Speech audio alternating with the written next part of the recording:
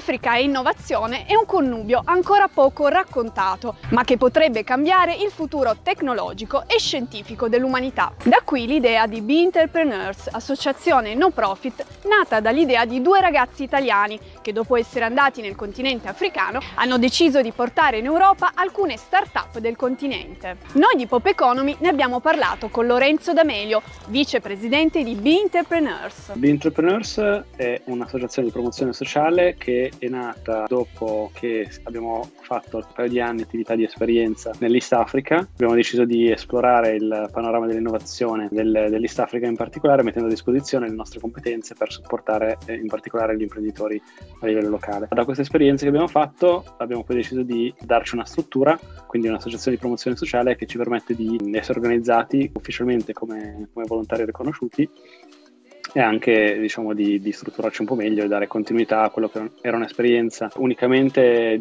estiva, quindi nel momento che avevamo un po' più libero, a poter dare una continuità un po' maggiore ai progetti che stiamo facendo e quindi per supportare le startup ugandesi, keniane, un po' più anche durante, durante l'anno, magari partecipando anche a bandi.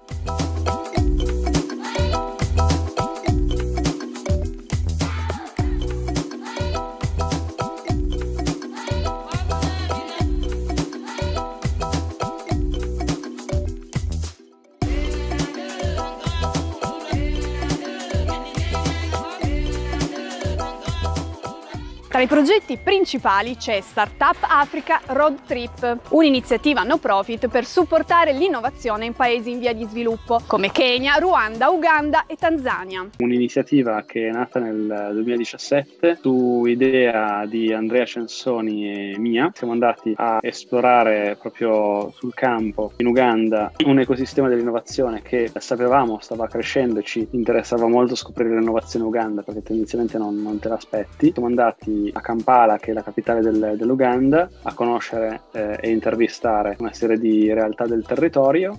Da lì abbiamo anche organizzato nel, nell'estate del 2017 una Tech Week, cioè una settimana di formazione dove eh, noi e altri consulenti esperti dell'innovazione che abbiamo coinvolto potevano diciamo, fornire della formazione alle, alle startup del territorio. Noi al contempo ci arricchivamo perché conoscevamo meglio un ecosistema che mh, non avevamo avuto modo di scoprire prima. Da lì la, la, la parte finale invece si tratta di un momento di presentazione proprio a aziende o potenziali investitori, business angel, ed è una cosa che abbiamo fatto fin dalla prima esperienza.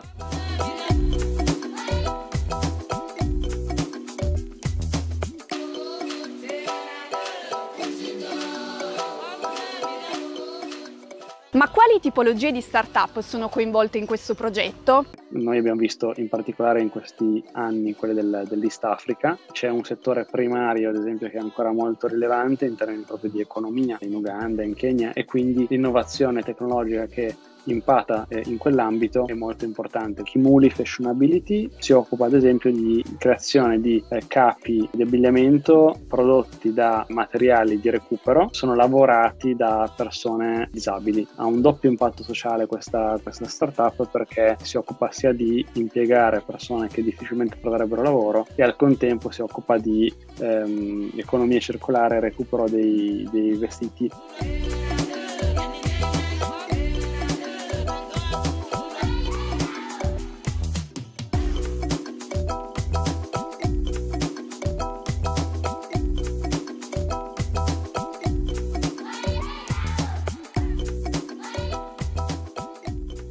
Marula Protein loro si occupano di trasformazione dei rifiuti organici eh, della città in fertilizzante tramite un processo biologico che viene ottenuto grazie alle larve di un insetto. Gorilla Conservation Coffee, un'impresa che si occupa di tutelare l'habitat dei gorilla, che sono una specie in via di estinzione, tra l'Uganda e il Ruanda, supportano praticamente i produttori di caffè eh, evitando che ci sia un disboscamento delle terre e incentivando un'educazione del, delle persone che lavorano a livello locale e condividono praticamente una parte dei proventi proprio per tutelare l'habitat naturale dei, dei gorilla.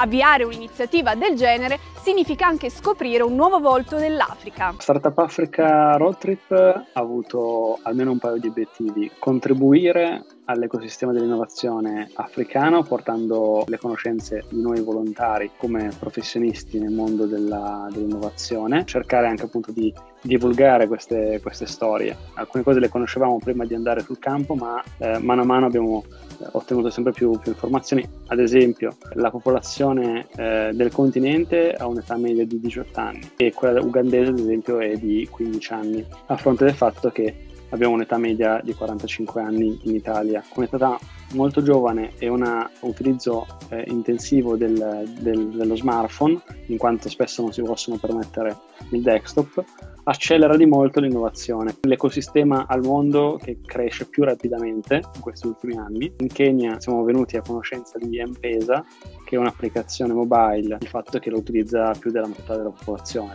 Quindi su certe cose abbiamo in qualche modo da, da imparare.